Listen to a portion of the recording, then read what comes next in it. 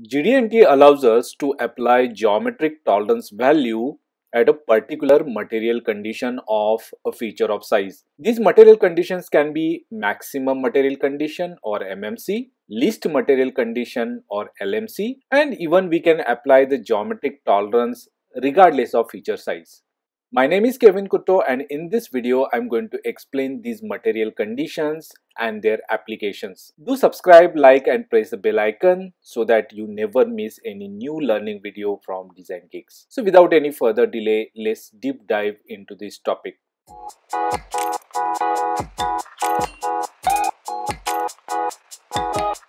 Before we understand material conditions, let's understand what is feature and regular feature of size. So feature is a physical portion of a part such as surface, the pin or the hole as shown here or the slot and its representation on the CAD model or engineering drawing or in any digital file. So in this case we have a block and in this block we have this through hole. So what are the features on this? All the sides of this block and this cutout or this hole on this block are features on this part. So the front, back, left, right and top and bottom sides of this part are the features as well as surface of the hole is a feature. If this has a slot on it then the surface of the slot is also a feature.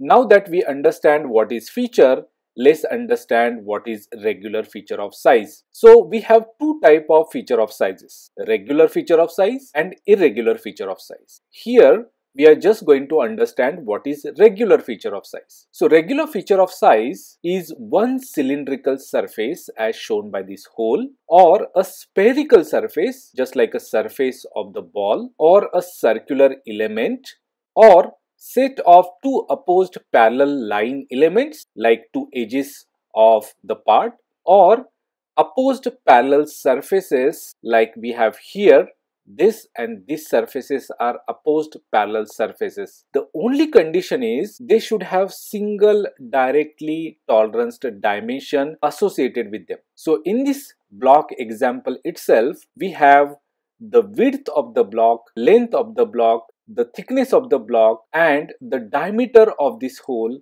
are regular feature of sizes because these are opposed elements with single dimension and tolerance. So, length of the block, width of the block, height of the block and diameter of the hole are our regular feature of sizes. If we have slot here, the width of the slot and the depth of the slot will be also regular feature of sizes.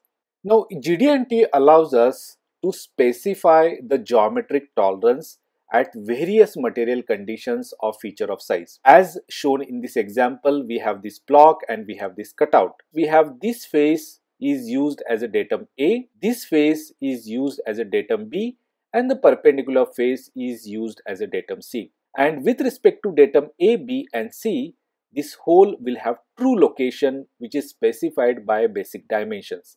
This hole has a diameter of 28 plus minus 0.3.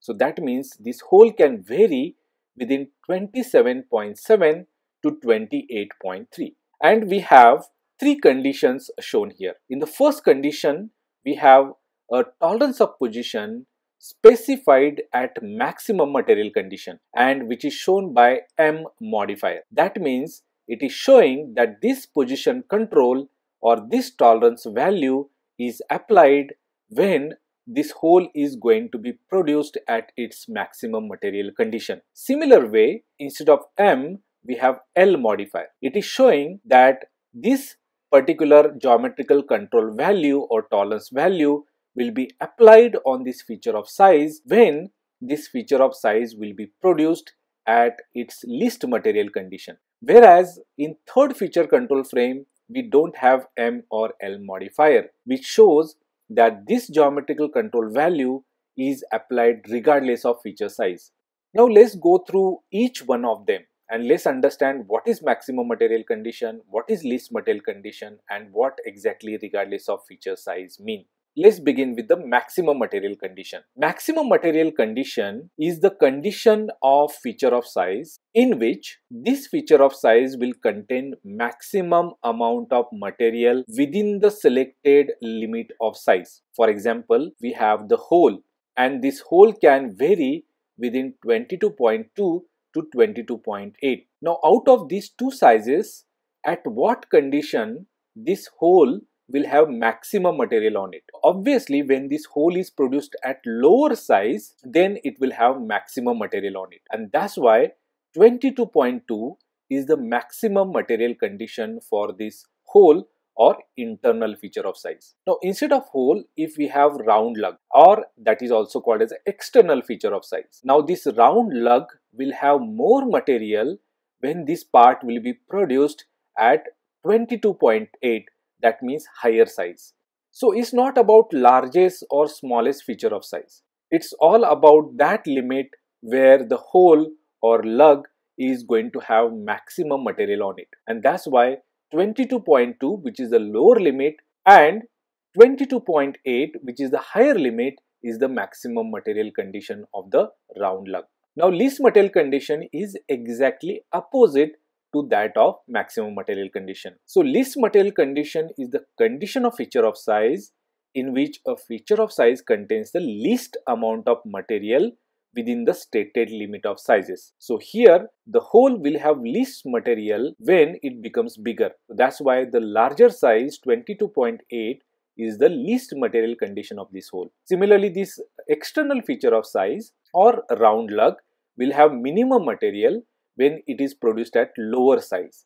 And that's why 22.2 is the least material condition of this particular feature of size. Now as we studied that we can apply this geometrical control at maximum material condition or least material condition. And as this size varies with respect to maximum material condition or least material condition we get additional tolerance to control the position or orientation Whenever we use M or L modifier, we can get additional tolerance to control that particular geometrical control based upon at what size the part is produced and how much it is deviated from this particular stated material condition. Now, regardless of feature size is more stringent compared to maximum material condition or least material condition because when we apply this tolerance regardless of feature size, what we are saying basically is it doesn't matter whether this hole is produced at 22.2 or 22.8 or any other size in between these limits we are still going to control the location or orientation of this hole or lug within 0.2. So we don't get any additional tolerance here in the regardless of feature size. So obviously out of these three conditions regardless of feature size is more stringent as we don't get any additional tolerance here. Now let's understand the application of maximum material condition, least material condition and regardless of feature size. First let's understand the application of maximum material condition. So here we have this part in which we have this cutout and we have this other part in which we have this lug. Now in this part, this surface is going to touch this surface on the orange part and this bottom surface is going to touch this surface of the orange part. And in that condition, this lug should always assemble into this cutout. Now I want you to imagine the worst case of assembly. The worst case for assembly will be when the hole becomes lower size and the lug becomes higher size. And when hole becomes lower size, that is maximum material condition. And when lug becomes higher size, that is maximum material condition of this lug.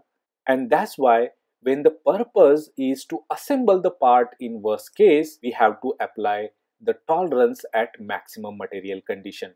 This is to ensure that these two parts are going to assemble in worst case. And as this hole becomes bigger, we get more room to control the location of this lug because now this lug will have more room to shift from its true location. As this hole becomes bigger, this lug will get more room to go out of perpendicularity. Now this can be applied on all hidden parts where only assembly is important. In some assemblies, we are going to have aesthetic or craftsmanship perspective also. Like in this example, we have this console.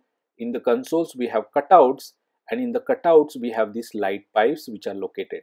Now the light pipes carry the light from the LEDs to the surface. Because this is aesthetic surface, we cannot have this lug move to the one side of the hole. And if this hole becomes bigger and if this lug moves to one side, aesthetically it is not going to look good. Similarly, we cannot allow more out of perpendicularity as hole becomes bigger because it will not look good aesthetically. And that's why it doesn't matter at what hole size the particular hole is produced, we still want to control the location as well as orientation very tighter and in such cases regardless of feature size is going to help us. In regardless of feature size we don't get any additional tolerance that means it doesn't matter whether this hole is produced at maximum material condition or more size or least material condition.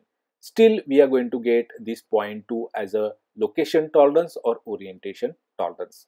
So that is the application of regardless of feature size. Now let's understand when we should use least material condition modifier. So here in this example, we have these two holes which are very close to each other and it shares a wall thickness. Now this wall thickness is very important because if these holes become bigger, the wall thickness will reduce. If these are threaded holes, then it can break the wall if it is thin. And that's why when the holes are at their bigger size, we have to maintain certain amount of wall thickness. So in this application, we can use L modifier because when holes become bigger, that means it is least material condition of those holes. So if I control the tolerance at least material condition of both of these holes, I can control how much thickness I want here. In this example, we have a boss and in that we have a cutout. This thickness of the boss is also very important because this is a screw threading and during the tapping operation if this wall is very thin then it can break the wall as well. That's why when this hole becomes bigger and the shaft becomes smaller, in that case we have to maintain certain amount of wall thickness. If we have to maintain this minimum distance like here or minimum wall thickness like here, then in those conditions we can use L modifier. So if we maintain this tolerance at least material conditions, we can ensure that the minimum distance or minimum wall thickness and the minimum boss thickness can be maintained. The other example could be hole is very close to the edge of the part in that case we are going to get the wall thickness here and that wall thickness also has to be maintained at least material condition. So M, L or regardless of feature size will have their own applications and based upon those applications only we have to apply this particular geometrical tolerance at maximum material condition, least material condition or regardless of feature size. I hope that this content was useful for you. You can help us by subscribing to the YouTube channel and liking this content so that this content reaches to the maximum number of design engineers.